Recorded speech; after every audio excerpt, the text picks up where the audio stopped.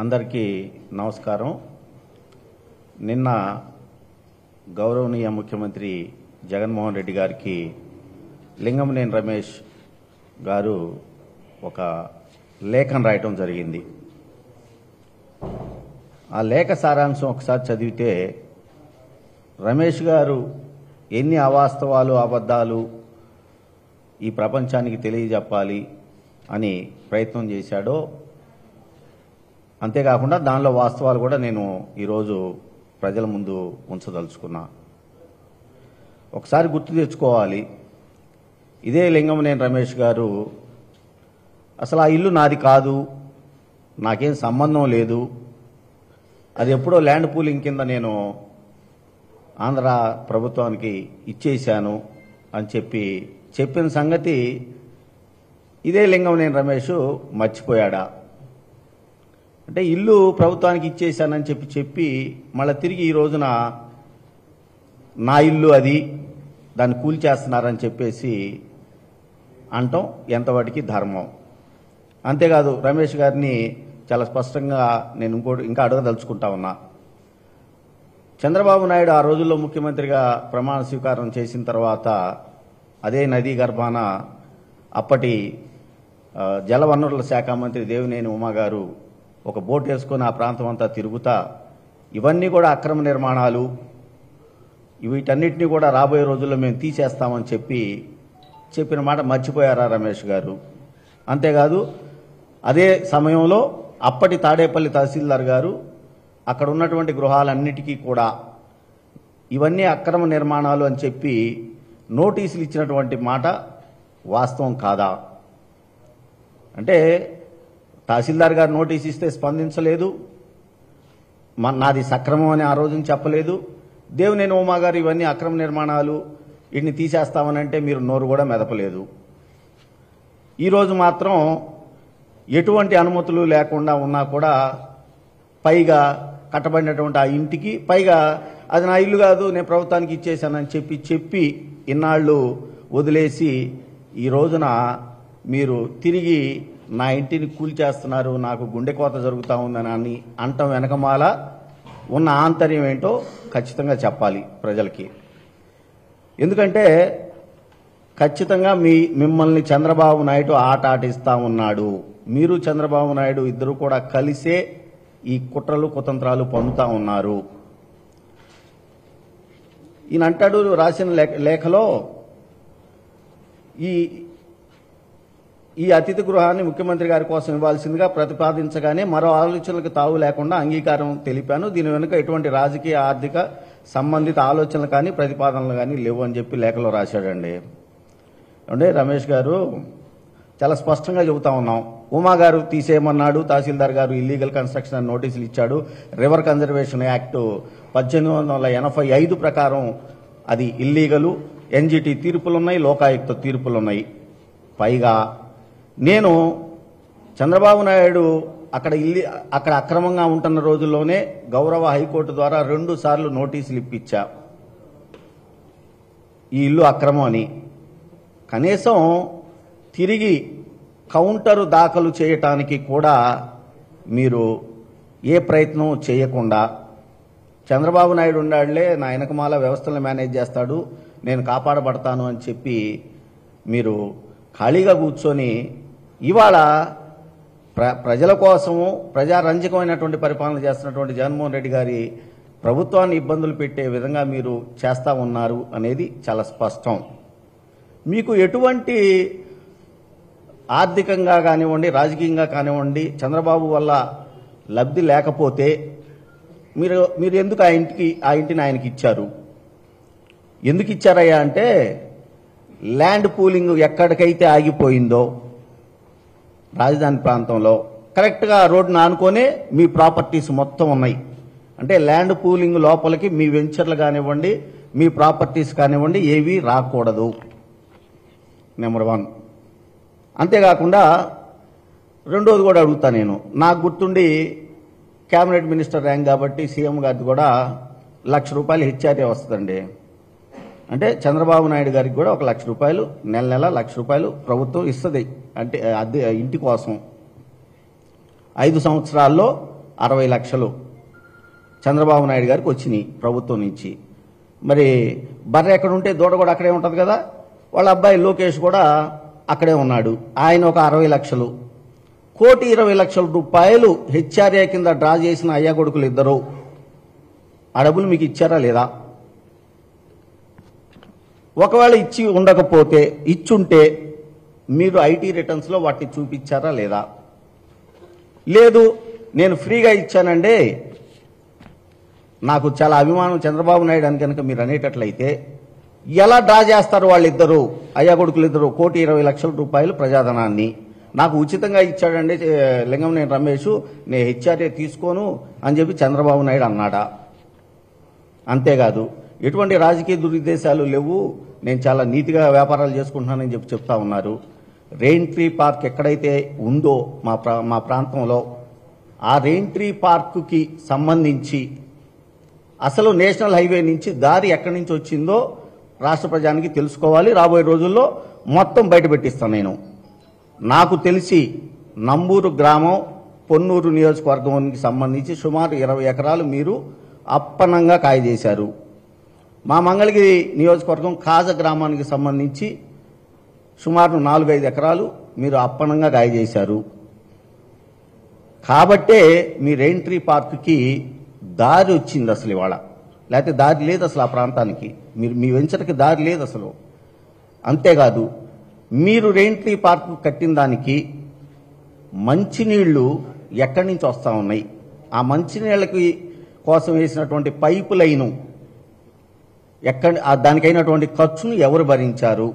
నాకు తెలిసి జిల్లా పరిషత్ సాధారణ నిధుల నుంచి ఆ డబ్బులు డ్రా చేయబడినట్లుగా నాకు తెలుస్తూ ఉంది.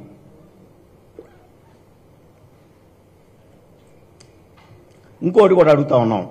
మీరు అంటున్నారు నా మీద కక్ష కట్టారు అని చెప్పి. ఏమయ్యా మరి కక్ష కట్టితే ఇది ఇల్లీగల్ కాబట్టి చట్ట ప్రకారం నడుస్తూ ఉంది ప్రభుత్వం. కక్ష కట్టాల్సినటువంటి అవసరం జగన్మోహన్ రెడ్డి గారికి ఏ కోశాన ఉండదు.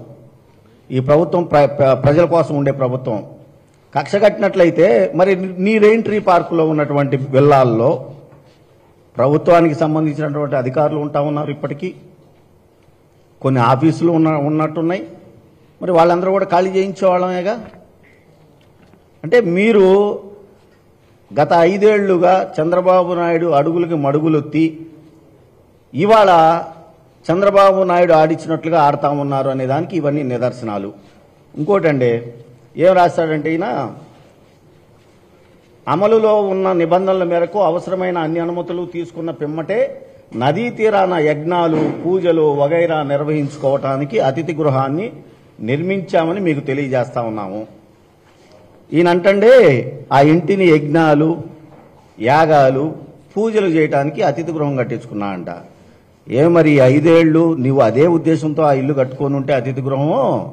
ఈ ఐదేళ్ళు చంద్రబాబు నాయుడును వాళ్ళ అబ్బాయి నువ్వేమన్నా అక్కడ పూజలు యజ్ఞాలు యాగాదులు చేసి చెక్క భజనలు ఏమన్నా చేశారా? ఎట్లా పడితే అలా రాస్తారంటండి మీరు? ఐదేళ్ళు ఆయన యజ్ఞాలు యాగాలు చేయడానికి ఆ ఇల్లు కట్టుకున్నాడంట. ఇంకా రాస్తాడు సుమారు ఏడు ఏడు ప్రాజెక్టులు. ఇక్కడ ఏది విజయవాడ గుంటూరు ప్రాంతంలో మేము చేశామండి. మేము అందరు రాజకీయ నాయకుల్ని మేము పిలుచుకున్నాము అని చెప్పి చెప్తా చెప్తా ఉన్నాడు. ఏ వ్యాపారస్తుడైనా సరే తాను చేసుకునే వ్యాపారాలకి ఎవరో ఒకరిని ప్రారంభోత్సవాలకు పిలుస్తాడు. దాంట్లో తప్పే ఉంది. రెండవది ఆ చేసే వ్యాపారము ఏమండి మీరు ఎన్ని ఎన్ని రూపాయలు ఇన్వెస్ట్ చేశారు ఎన్ని రూపాయలు లాభం వచ్చింది ఎన్ని రూపాయలు సమాజం కోసం ఖర్చు పెట్టారు ఆ లెక్కలు చెప్పి ఏమంటే నాకు వంద రూపాయలు లాభం వచ్చింది. వందకు తొంభై రూపాయలు నేను ఖర్చు పెట్టానండి అని చెప్పి చెబితే ఎవరన్నా కనీసం పర్లేదులే ఈయన మంచి ఆయన లాగా ఉండాడు అనుకుంటారు. నువ్వు ఏదో నేను ఏడు వెంచర్లు చేశాను గుంటూరు విజయవాడ మధ్య నేను గొప్ప పారిశ్రామికవేత్తని నన్ను ఇబ్బంది పెడుతున్నారంటే నీ లాభాల కోసం చేసుకున్నావా నువ్వు అది. దాన్ని దీనికి ఎలా ఎలా నువ్వు దానికి దీనికి ఎలా కలుపుతావని అడుగుతా ఉన్నా నేను. అంతేకాదు చట్టాలు ఉన్నాయని చెప్పి తెలిసినా కూడా తీర్పులు ఉన్నాయని చెప్పి తెలిసినా కూడా ఈ వాటన్నిటిని కూడా తొంగలోకి దొక్కి మరి చంద్రబాబు నాయుడు అనే ఉన్నాడు నా వెనకమాల అనే ఉద్దేశంతో ఈ ఐదేళ్ళు మీరు అక్కడ ఉన్నారు. నాకు నాకున్న నా- నా నా పరిజ్ఞానంతో నేను చెప్తున్నానండి ఖచ్చితంగా ఈ ఇల్లు నాది కాదండి నాకు సంబంధం లేదు. అసలు నాకు నేను ల్యాండ్ పూలింగ్కి ఇచ్చాను అన్నటువంటి లింగం నేను రమేష్ గారు ఇవాళ తిరిగి ఐదు ఈ లెటర్ రాశాడు ఐదు పేజీల లెటర్ అని అంటే చంద్రబాబు నాయుడే రాయించాడు ఇతనితోటి అనేది నేను ఖచ్చితంగా చెప్పగలుగుతా. ఐదు సంవత్సరాల చంద్రబాబు నాయుడు పరిపాలనలో ఎన్జిటి తీర్పులు వచ్చినా పద్దెనిమిది వందల ఎనభై ఐదు రివర్ కన్జర్వేషన్ యాక్ట్ రూల్స్ ఉన్నా అంతేకాదు లోకాయుక్త తీర్పులున్నా నేను గౌరవ హైకోర్టు తోటి రెండుసార్లు నోటీసులు ఇచ్చినా కనీసం ఒక్క ఉత్తరం కూడా ఒక్క లైన్ కూడా రాయినటువంటి వ్యక్తి ఇవాళ ఖాళీగా కూర్చొని నా మీద అన్యాయంగా నాకు అక్రమాలు జరుగుతున్నాయి నన్ను ఇబ్బంది పెడుతున్నారు అని చెప్పేసి ఐదు పేజీల లెటర్ రాశాడు అని అంటే ఎంత దారుణంగా చంద్రబాబు నాయుడు ఈ వ్యక్తి మీద ఒత్తిడి తీసుకురావడం లేదంటే ఈ వ్యక్తికి ఈ వ్యక్తే భరించలేక చంద్రబాబు నాయుడు ఓటమిని ఆయన కట్టినటువంటి ఇల్లీగల్ కన్స్ట్రక్షన్ మీద ఇవాళ ప్రభుత్వం చట్టాలకు లోబడి ధర్మానికి న్యాయానికి అనుగుణంగా నడుస్తూ ఉంటే ఇదంతా సమాజానికి రుద్దుతాడండి ఏమంటాడు? లక్షలాది మంది అంటండి రాజధానిలో అల్లాడిపోతా ఉన్నారంట. ఇంకొక ముసలాయన బు- బుద్ధి లేని ముసలాయన ఒక ఆయన అండగా తెచ్చుకున్నాడు. ఈయన వయసు కన్నా కనీసం గౌరవం ఇద్దామన్నా అది కూడా లేకుండా చేసుకుంటా ఉన్నాడు ఈ పేపర్ ఆయన. ఏమండి? ఈయన అంటాడు కూల్చివేత గుండె కోత అంటండి. ఏమండి? అక్రమంగా కట్టిన ఇంటి ఇంటిని కూల్చేస్తా ఉంటే చట్టానికి లోబడి ప్రభుత్వం దాన్ని హర్షించాల్సింది పోయి ఈయన రాస్తాడు కూల్చివేత గుండె కోత. ఇంత దారుణంగా ఆయన వస్తుందండి ఈ పేపరు? ఇంత అన్యాయంగా చేసుకుంటా వస్తా ఉన్నారు. ఇది ఆయనకి నేను ఈ లేఖ ఈ లేఖ రాసిన దానికి చెప్పదలుచుకున్నా. ఇకపోతే అసలు వాస్తవాల్లోకి వస్తా. ఇప్పుడు ఏది పర్ ఇంటి పర్మిషన్కి సంబంధించి. లింగమనేని రమేష్ గారిని వాళ్ళు నేను చాలా స్ట్రైట్గా అడుగుతున్నానండి. చంద్రబాబు నాయుడు గారిని లింగమనేని రమేష్ గారు కానివ్వండి రండి అధికారులతో కూర్చున్నాం లేదా మీరు మేము అక్రాస్ ద టేబుల్ కూర్చున్నాం. విత్ పేపర్ ఎవిడెన్స్ డాక్యుమెంటరీ అసలు మీకు ఉండవల్లి గ్రామ పంచాయతీ నాకు అనుమతులు ఇచ్చిందని అంటున్నారు. పేపర్ చూపించండి. రమేష్ గారు రండి పేపర్ చూపించండి. మీకు ఇంతవటికి అసలు పర్మిషనే ఇవ్వలా? మీరేం చేశారు? రెండు వేల పదకొండులో సర్వే నెంబర్ రెండు వందల డెబ్బై రెండు రెండు వందల డెబ్బై ఒకటిలో నందుగల నేల మరియు మొదటి అంతస్తు నిర్మాణమునకు కార్యనిర్వాహక ఇంజనీర్ కృష్ణా డివి సెంట్రల్ డివిజన్ వారికి నిరభ్యంతర పత్రమునకు అనుమతి. అంటే ఎన్ఓసి ఎగ్జిక్యూటివ్ ఇంజనీర్ దగ్గర నుంచి తీసుకుంటాము దానికి మీ అనుమతి ఇవ్వమని చెప్పి గ్రామ పంచాయతీ తీర్మానంలో రాశారు. ఇది ఇంటి ఇంటిదండే? ఇది ఇంటిదా? ఇంటిదైతే ఏం చేయాలి? నా- నేను పలానా సర్వే నెంబర్లో ఇల్లు కట్టుకుంటున్నాను నా ఇంటికి అనుమతి ఇవ్వండి నేను G plus one G plus two కట్టుకుంటాను అని చెప్పి రాసుకుంటా ఒక లేఖ ఒక విజ్ఞాపన దానికి మీరు మీ ఇంటి ప్లాన్లు సబ్మిట్ చేయాలి. దానికి సంబంధించి ప్రభుత్వానికి ఫీజులు కట్టాలి. దాని తర్వాత అనుమతులు వస్తాయి. నేను రికార్డ్స్ అన్నీ చెక్ చేయించుకున్నా. మీరు పైసా కూడా బిల్డింగ్ ఫీజు నిర్మాణానికి సంబంధించి బిల్డింగ్ నిర్మాణానికి సంబంధించి ఫీజు కట్టలేదు. ఎటువంటి అనుమతులు మీకు ఇవ్వబడలేదు. పైగా ఎంత అన్యాయం అండి? Two seventy one survey number two seventy one two seventy one survey number ఎవరైనా ఎక్కడైనా అడంగుల్లో చూసుకోవచ్చండి. అది ప్రభుత్వ భూమి అని చెప్పి చాలా స్పష్టంగా చెప్పబడిందండి. అడంగుల్లో. ప్రభుత్వ భూమి అని చాలా స్పష్టంగా చెప్పబడింది. కృష్ణా నది అని చెప్పి చాలా స్పష్టంగా చెప్పబడింది. Two seventy one two seventy tool ప్రభుత్వ భూమి డొంక అని చెప్పి రాయబడి ఉంటే అడంగుల్లో వన్ బి రికార్డుల్లో ఆయన అంటాడు అది నాది దానికి ఇంటికి పర్మిషన్ ఇవ్వండి అని అంటాడు. ఎంతవరకు ఇది నిజం వాస్తవం అవాస్తవం ప్రజలు తెలుసుకోవాలి. అంతేకాదు కమిషనర్ సిఆర్డీ గారికి మొన్న ఈ మధ్య లేఖ వాళ్ళకి ఇచ్చినటువంటి లేఖ రిప్లై లేఖలో అంటాడు నాది two fifty four two fifty survey నెంబర్లు అని చెప్పి చెప్తాడు. అసలు ఆయన కానే కాదు. ఇంత దారుణంగా అసలు ఇంటికి పర్మిషన్కి ప్లాన్ పర్మిషన్కి అప్లై చేయలేదు ఫీజు కట్టలేదు ఎటువంటి అనుమతులు పొందలేదు. నేను గ్రామ పంచాయతీ నుంచి అన్ని అనుమతులు తీసుకుంటాన తీసుకున్నానని అంటున్నాడు. రమ్మనండి ఆ కాగితాలు చూపించమనండి. ఎక్కడెక్కడ? ఎప్పుడెప్పుడు ఏ డేట్ తోటి వాళ్ళు సీల్ వేసి స్టాంప్ వేసి వాళ్ళ రికార్డులో రాసుకొని మీకు అనుమతులు ఇచ్చారు. అంటారు మాకు ఎందుకు ఎందుకు ఈ మాట అంటున్నానంటే గ్రామ పంచాయతీకి కూడా ఇచ్చే అధికారం లేదండి. నాకు గుర్తుండి పంతొమ్మిది వందల తొంభై ఒకటి జీఓఎంఎస్ నెంబర్ నాలుగు వందల ఎనిమిది ప్రకారం గ్రామ పంచాయతీలు అంతేకాదు నలభై ఐదు ఎంఎస్ నెంబర్ రెండు వేల ఆరో ఏడులోనూ వచ్చింది అది జీఓఎంఎస్ నెంబర్ నలభై ఐదు. దీని ప్రకారం ఉడావాళ్ళు మాత్రమే పర్మిషన్ ఇవ్వాలి. ఒకటి గ్రామాలు ఇచ్చినా కూడా గ్రామ కంఠంలో ఉన్నటువంటి వాటికి మాత్రమే అనుమతులు ఇవ్వాలి. అసలు ఉండవల్లి గ్రామ కంఠ పరిధి ఎంత? ఇప్పుడు నువ్వు అక్రమంగా నాది అంటున్నటువంటి నీ సర్వే నెంబర్ ఎక్కడుంది? అసలు ఉండవల్లి గ్రామ పంచాయతీకి అనుమతులు ఇచ్చే పవరే లేదు అక్కడ దానికి. అదొక అదొకటి. తర్వాత అంటారు మేము ఎన్ఓసి తెచ్చుకున్నామండి ఆ, అని అంటారు. ఏమండి? ఉడానించి అనుమతి తెచ్చుకుంటే నేను ఒక్క మాట చెబుతా. దేనికి తెచ్చుకున్నారో తెలుసా? స్విమ్మింగ్ పూల్ కోసం తెచ్చుకున్నారండి.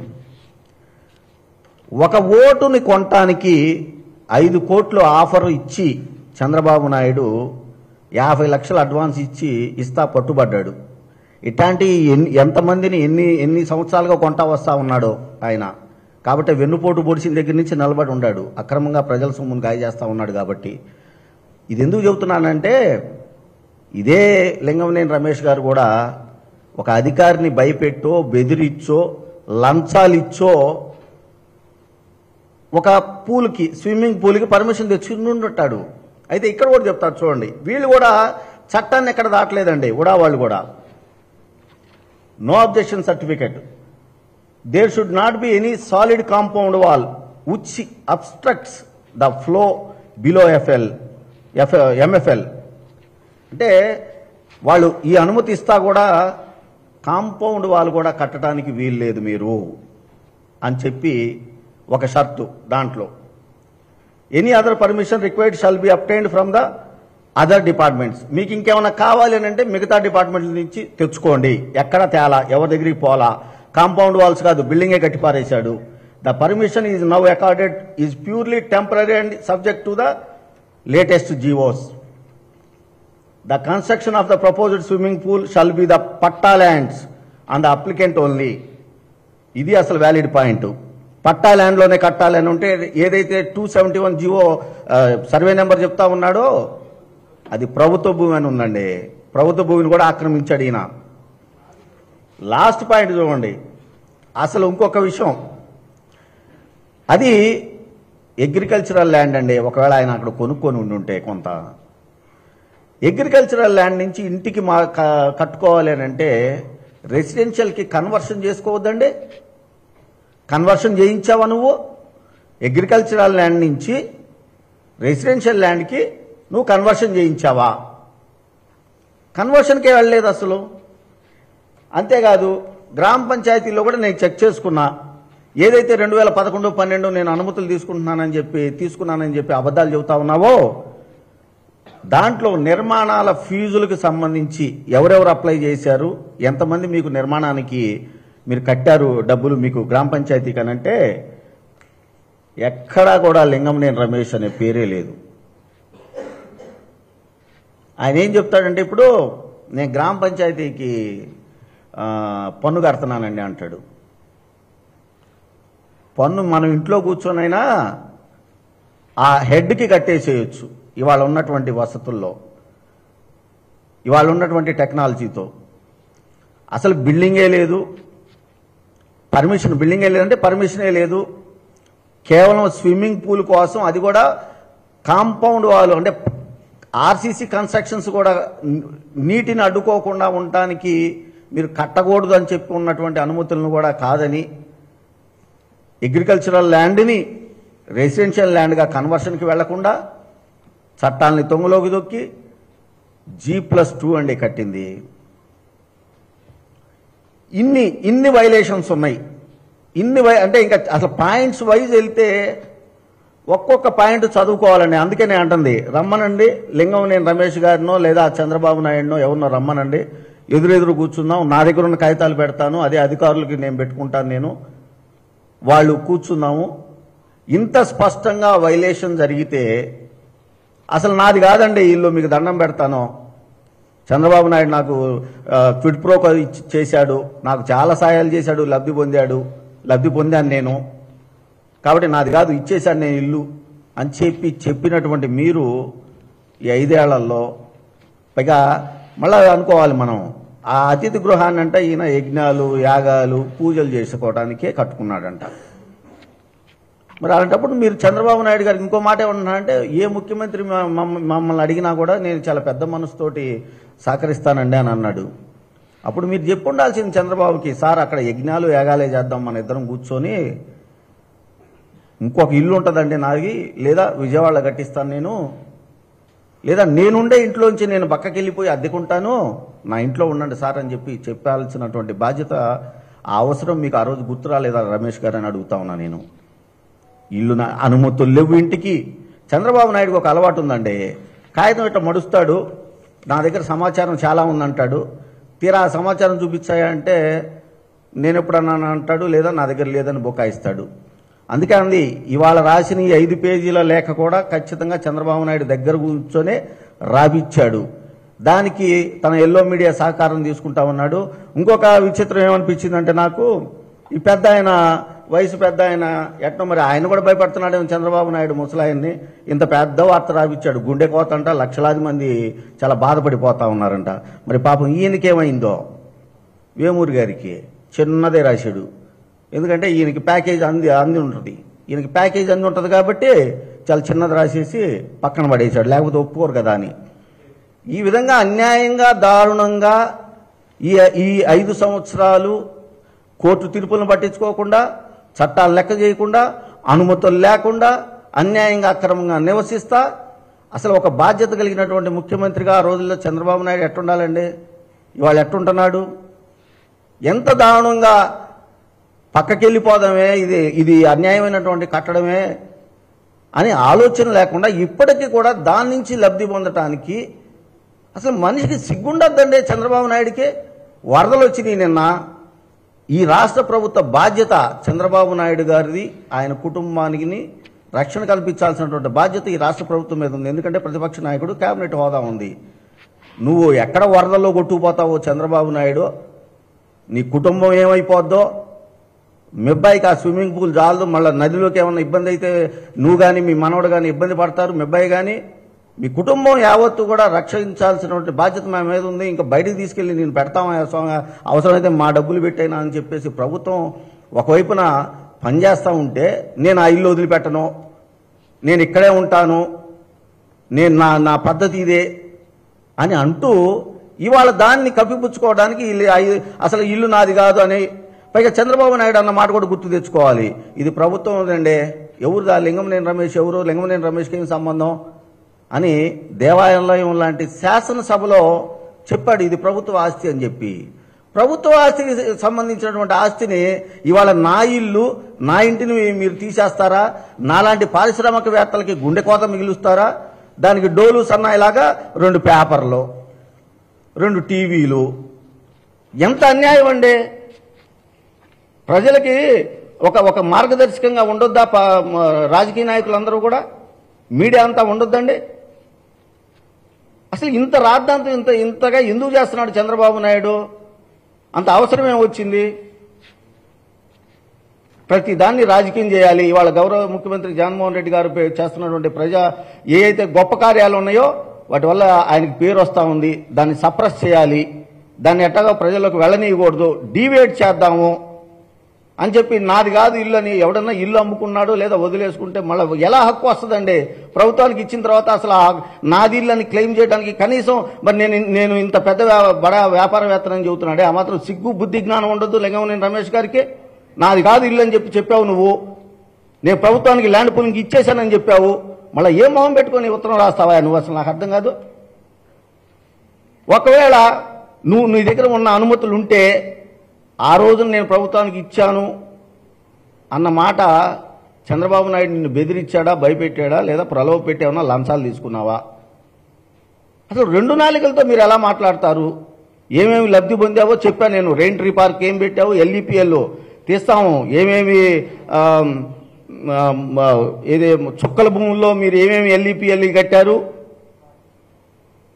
ఇంకా ఉన్నాయండి నాకు సడన్గా గుర్తు రావట్లేదు. ఎక్కడెక్కడ ఏమేం చేశారో మొత్తం తీస్తా నేను. అంటాడు ప్రభుత్వ అధికారులను పెట్టి నా మీద నా ఎన్ని తీసే తీస్తున్నారు బయటకు అనే మాట కూడా రాశాడు.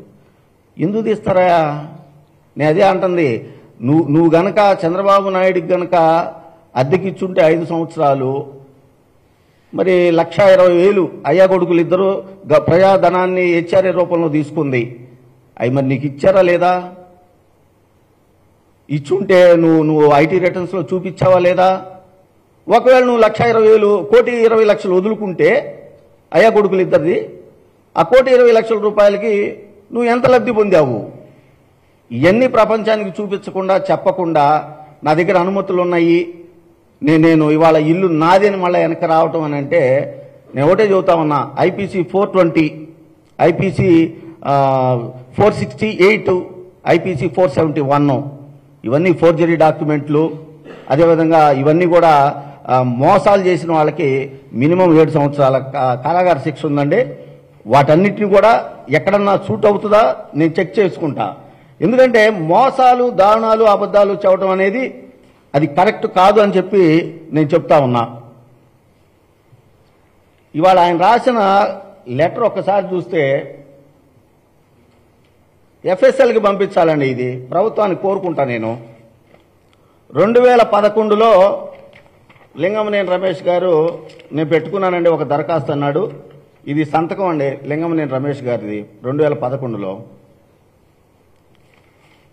ఇది నిన్న రాసిన సంతకం లేఖలో. దీనికి దీనికి సంబంధమే లేదు. ఇది నిజమైతే ఇది అబద్ధం. ఇది ఫోర్జరీ డాక్యుమెంట్. ఇది నిజమైతే ఇది చంద్రబాబు రాశాడు నువ్వు రాయలా. లేకపోతే అక్షరజ్ఞానం లేని వాళ్ళ అబ్బాయి రాశాడు ఎవరు ఎవరు ఏది? అందుకని అంటున్నాం. ఎఫ్ఎస్ఎల్కి వెళ్ళాల్సిందే ఇవన్నీ కూడా.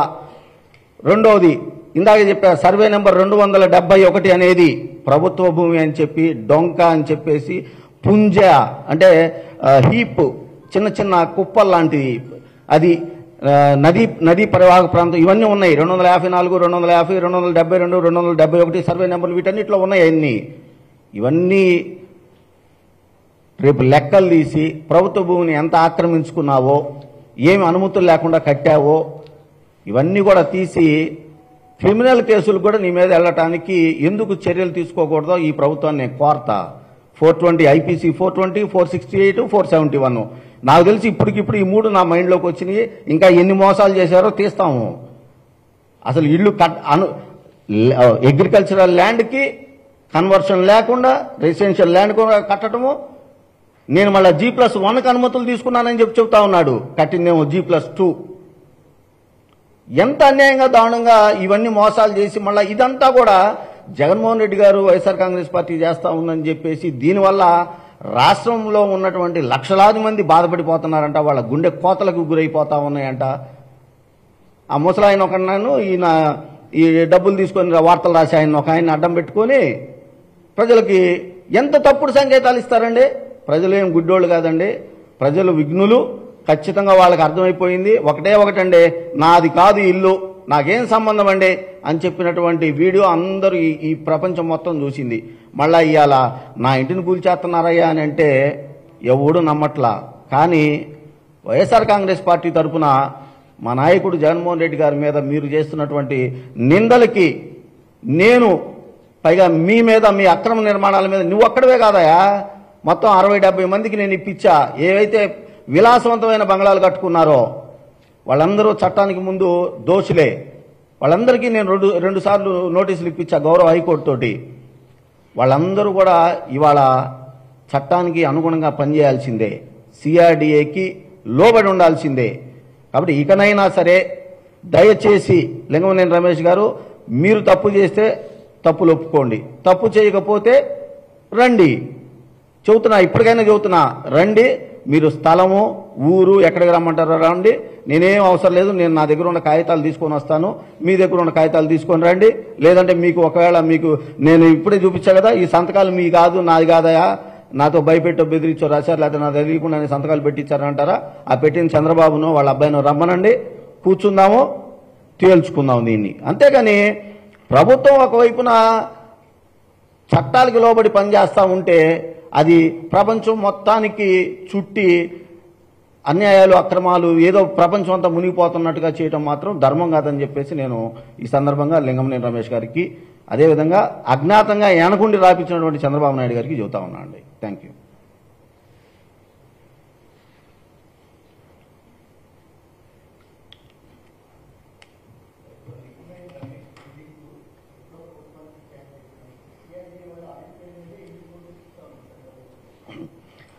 అది ఇంకా అదే పేరు మీద రన్ అవుతా ఉంది.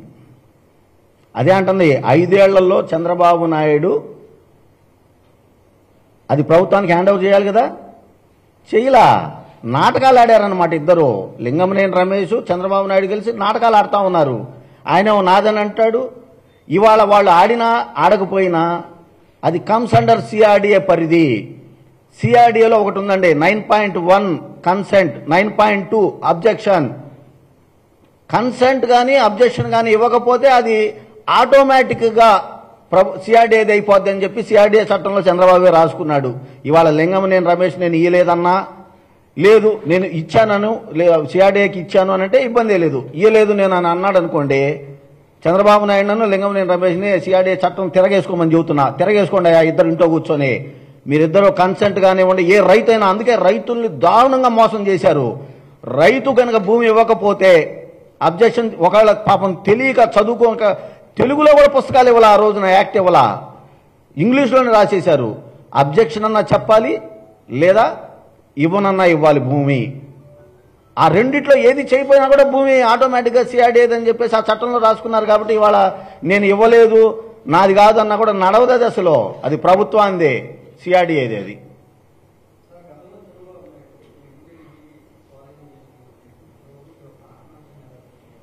అదే అండి చంద్రబాబు నాయుడు గతంలోనేమో ఇది అసలు ప్రభు దేవాలయం లాంటి అసెంబ్లీలో చెప్పాడు. ఇది ప్రభుత్వాందండి లింగంనేని రమేష్ ఎవరు? లింగంనేని రమేష్కి ఏం సంబంధం అని. ఈయనేమో నేను ఎప్పుడో ఇచ్చేసానండి నాకు అసలు ఆ ఇంటికి నాకు సంబంధం లేదని అన్నాడు. ఇవాళేమో నా ఇల్లు కూల్చేస్తున్నారు. ఈ ప్రపంచంలో ఉన్నటువంటి మనుషులు లక్షలాది మంది అంట బాధపడిపోతున్నారంట గుండె కోతకి గురవుతా ఉన్నారంట. దారుణంగా ప్రవర్తిస్తూ ఉన్నారు.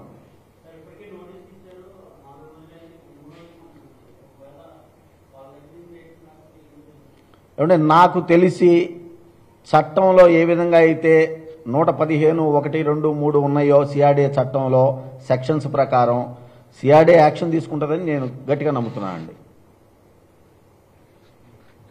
అంటే ఈ మిగిలిన మిగిలిన కట్టడాల విషయంలో కూడా ఇలాగే ఉంటారు సార్ ఇప్పుడు ప్రకాశం బ్యారేజ్ ఎగువ భా- ఎగువ భాగంలో ఉన్న వాటి మీద ఉన్న శ్రద్ధ దిగువ భాగంలో ఉన్న వాటి మీద పెట్టడం లేదు అనేది వాస్తవానికి ఇక్కడ చూస్తే విజయవాడ క్లబ్ ఏదైతే ఉందో అది కూడా అత్యంత విలాసంగా కట్టింది సో పైన ఉన్నటువంటి అంటే సిఆర్టీఏ ప్రాజెక్ట్ డెవలప్మెంట్ ఆఫీసర్ అటువైపు వెళ్తున్నారు తప్ప ఇక్కడ ఎక్కడ నోటీస్ ఇవ్వడం లేదని చెప్తున్నారు ఏమండి నేనైతే ఏ రోజైతే గతంలో ఐదు సంవత్సరాల కాలం క్రితమే నేను గౌరవ న్యాయస్థానాన్ని ఆశ్రయించానో ఆ రోజునే మొత్తం నా నియోజకవర్గం మంగళగిరి నియోజకవర్గ పరిధిలో ఉన్నటువంటి కృష్ణా నదిలో కట్టినటువంటి విలాసవంతమైన భవనాలు మొత్తానికి నేను నోటీసులు ఇప్పించానండి. ఖచ్చితంగా సిఆర్డీ అది కూడా వస్తుంది. ఇవాళ సిఆర్డీఏ లిమిట్లోకి వచ్చినాయి కాబట్టి వీటి మీద ఉన్నారు. రేపొద్దున సిఆర్డీఏ లిమిట్ లిమిట్లో లేని దానికి కూడా వెళ్తారు. వెళ్ళకుండా ఎందుకుంటారు? చట్టానికి వ్యతిరేకంగా కట్టిన ప్రతి దాని మీద యాక్షన్ తీసుకుంటుంది ప్రభుత్వం. తీసుకోకుండా ఏమి ఉండదండి. Thank you